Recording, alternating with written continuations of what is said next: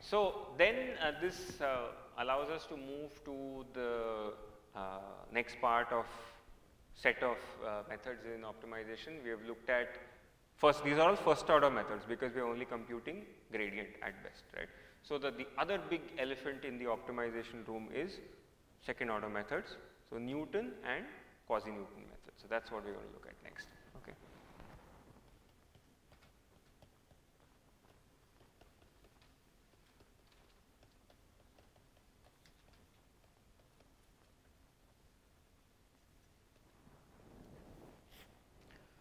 So those of you reading the book, this is roughly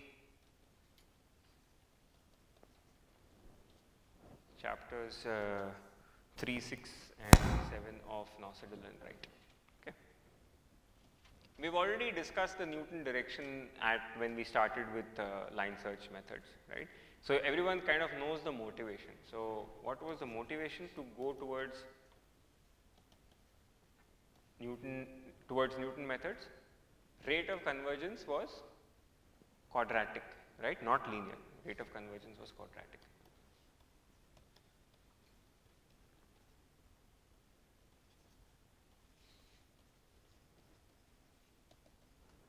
Okay.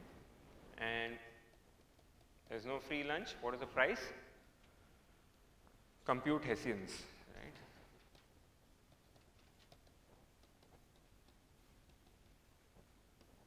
Why is it expensive to compute a Hessian?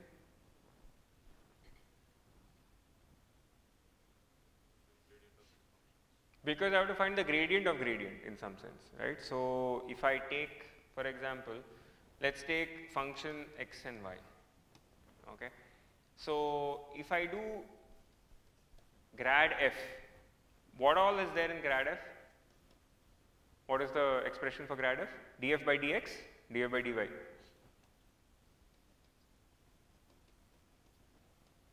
Let us say I was uh, evaluating this by finite differences. Okay? Finite difference is simply f of x plus h y minus f of x y by h. So, how many function evaluations did I need over here to calculate grad f? 2? At least 3, no? Because there is f of x plus h, there is f of x plus h comma y, x comma y plus h and f of x comma y. So, I need at least 3 function evals. If I am doing this is what is called a one sided difference. There is also a two sided difference or a central difference. How do I write a central difference? This is one sided. Two sided is f of x plus h comma y minus f of x minus h comma y divided by 2h.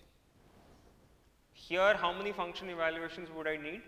4 function evaluations to get the gradient because there is no common point now, right. It is x plus h, x minus h, y plus h, y minus h. What is the advantage of a two sided? It is much more accurate, right. Numerically you can prove this is actually uh, if you take the Taylor series expansion of f of x plus h, what is the order of the error? So, f of x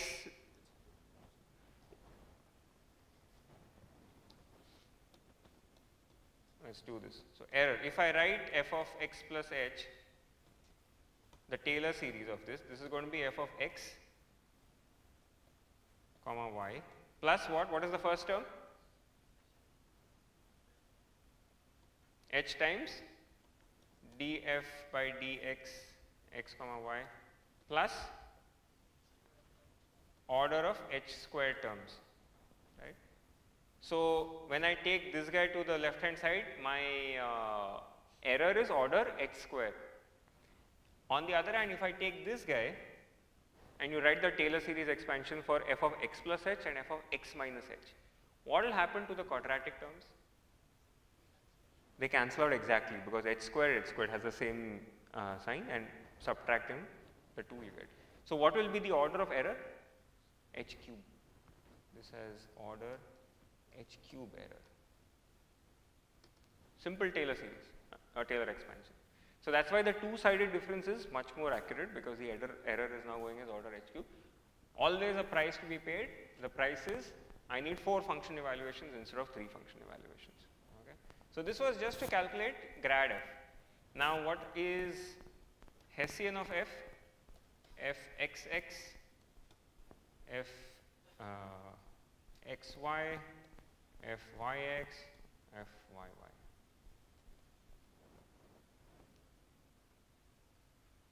Right. So what is f x x? What do I mean by f x x? d2f by dx2, right? And this is going to be d2f by dx? So each of these, so how, I mean this I can write as this, right, d by dx, df by dy. So I need many more function evaluations than just three for each of these terms, right, because I'm going to get, this is going to be a finite difference in y and together this whole thing is going to be a fd in x. This is all just to get one guy. Similarly, I have to repeat it for fxx, fyy, right. So, you can it is easy enough to calculate how many function evaluations you will need over here. So, that is the price that you are paying and this is a simple toy illustration of 2D. Real life problems will have let us say a few 10,000 or a few lakh or a million value, I mean dimensions of uh, f, good luck, right. So, you do not find the use of uh, Newton methods in much in um, the machine learning of data science, big data applications for this reason. Okay. All right. Okay, so let's uh, uh, just do a bit of revision of this. What are the requirements of using or doing a Newton search method. Okay. Is the Newton method a line search method? It is a line search method, right. So, it is a line search method which is great because we have already studied one type of line search method which was gradient descent, right. So, this is going to be simply xk plus 1, this is how I update xk plus alpha k pk.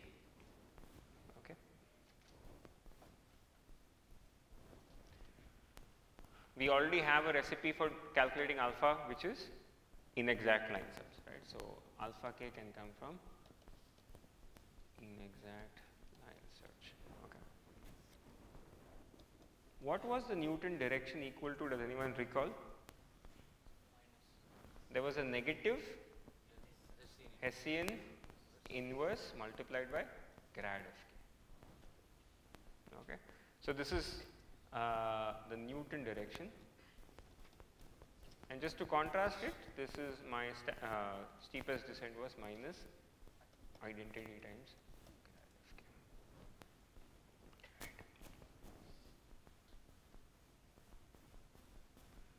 But this was not all, right? It was not, it's not enough to just write this over here. There was one further requirement on the Hessian. The Hessian needed to be positive definite, right? So, Hessian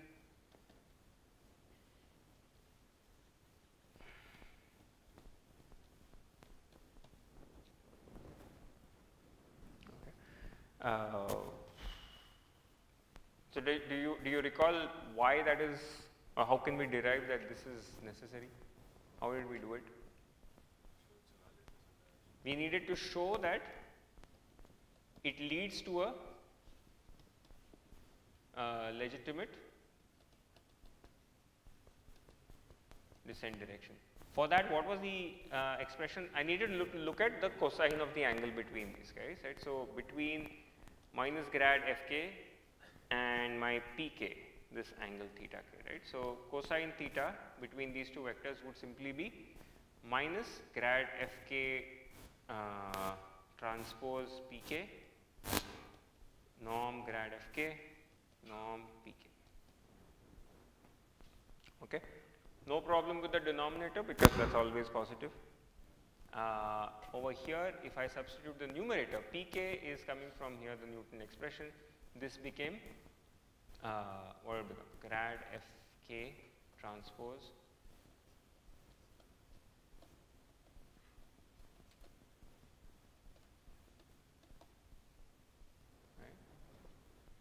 And this needed to be cosine of this needed to be what? Greater than 0 less than 0 greater than 0 Right? So therefore this expression has to be positive. So you can see therefore that if uh, if inverse Hessian is positive definite, right, then PKN is a legitimate descent direction. Okay. This is a stronger requirement. Why is it a slightly stronger requirement but a very practical requirement? Because when I say positive definite, what am I saying? If the matrix A is positive definite, I am saying that Z transpose AZ is greater than 0 for all Z. For all Z. Here what do I need? I am always only going to multiply it by grad f transpose, right. So, it, it's a little bit of a uh, uh, weaker thing that I require for making sure the Newton direction is a legitimate descent direction. But in practice, there is no way for me to know what set of values this grad f is going to take. So, since there is no way for me to practically ensure that, I will just say let it be uh, a positive definite matrix. The consequence of this is that in practice when you implement uh, Newton method, it may happen that your matrix is not positive definite, but this product is positive. So you can, you can, you can see what has happened over there. There are some vectors for which this uh, product is positive, you just got lucky.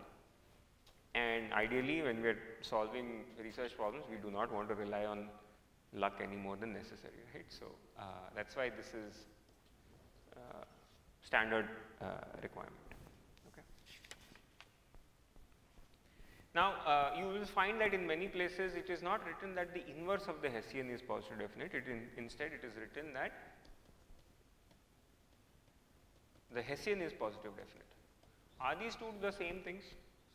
Because what is the simple linear algebra concept that tells us that it is the same thing? The eigenvalue decomposition, right. So, if I write this as uh, q lambda q transpose right. These are orthogonal vectors q. And what is going to be this inverse? Is going to be the same q is going to come here. This is going to get inverted. Q transpose. These are positive greater than 0 diagonal values. These are also therefore greater than 0 diagonal values. Right. So, uh, again linear algebra. over here.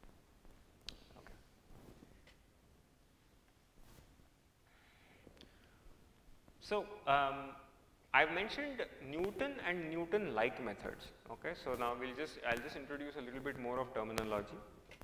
So, what you will find in most of the literature is that this pk is written in the following way.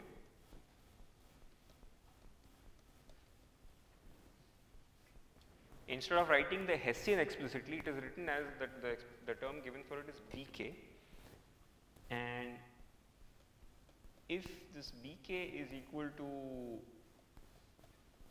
the Hessian, we say of course this is the Newton method. If bk is an approximation of the Hessian, it is called a Newton like method.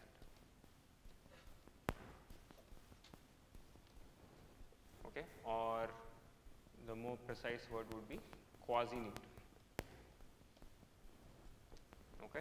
So, you will find the same word, the same term BK being used throughout the discussion that will follow in the subsequent lectures, which means that I can switch between Newton and quasi-Newton depending on how I compute my um, uh, BK. Okay. And the whole point of a quasi-Newton method is that I want to approximate the Hessian. Means I do not want to calculate it because we have seen what is the cost involved. I want to approximate this Hessian. And this uh, quasi-Newton method gives us again there are several cousins of quasi-Newton methods different tricks to estimate the Hessian. Not calculate the Hessian but estimate the Hessian. So, this gives rise to like we had a family of nonlinear CG methods we have a family of quasi-Newton methods. Okay? Which since they do not directly require calculating the Hessian they are very very competitive with uh, your preconditioned CG, nonlinear CG, all of that. Okay. So that's, that's about it, I think, that we want to talk about. In terms of introducing, it's more like a revision of what you already knew for the, the requirements for CG and, uh, sorry, for the Newton methods and the quasi-Newton methods, okay. Um, we'll have to ensure that this approximation is also uh, positive definite, otherwise it will not be a descent direction, okay. So in next week we will look at uh, further analysis of the Newton method, okay. Uh, for a lot of engineering problems which are not high in dimension, Newton methods are very, very competitive because much faster rate of conversion.